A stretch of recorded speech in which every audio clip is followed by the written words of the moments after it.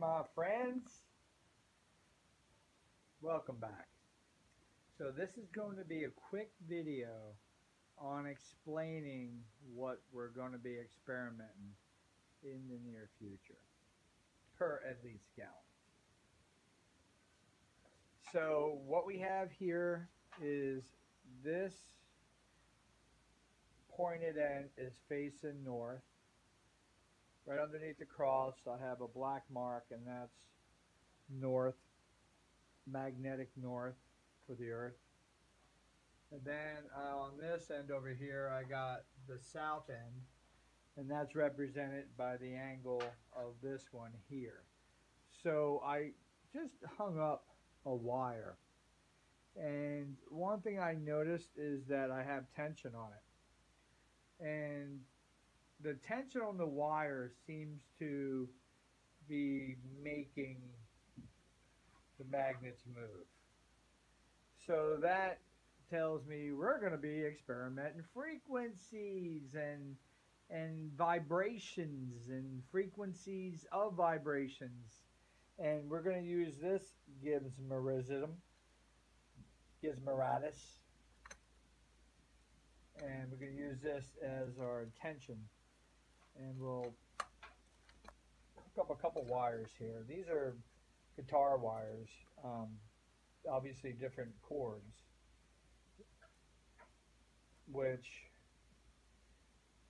would be great reference point to what we know about music. So laying those across would be good, but uh, copper and bismuth, somehow if I can get some bismuth wire, some steel wire. All right, so where are we going with this? All right, so this is my belief that now that we have a reference point here of the angular position of how the this is exciting guys how this angular is I want to do Ed Leedskalnin he talked about the north south east and west and right here is a north to south now I need to get my reference and hang a wire up that's going to be east to west and a couple things of experiments, a whole range of stuff comes to my mind. Is one is putting tension on the wires that are going across here. We'll we'll do these wires here that are following the north and south meridian. Okay, I'll call it. And then we're going to do a east and west meridian, and we're going to put the same wires, but maybe opposite directions, sort of when a rainbow has a dual rainbow. If you take notice in the colors of the rainbow, they're opposite, like a mirror image. So we'll, we'll set that up. And what we're going to test here is, are we going to pick up any light voltage inside this wire? And is this wire magnetic wire? I think this one here is a good strong gauge. Um, I'm going to have to say this is probably a good, God, I want to say 16 or 18. But regardless, it was just on a spool. I had a loose wire.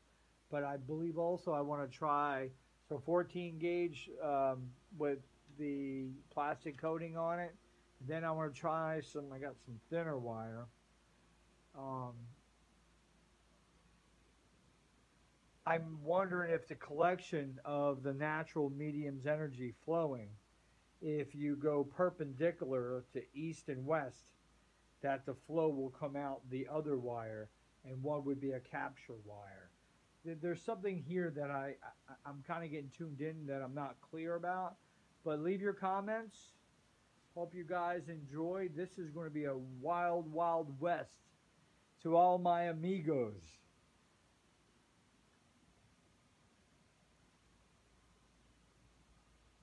On the learning how nature and as we use magnetism works together. This is cool shit. You guys, peace out.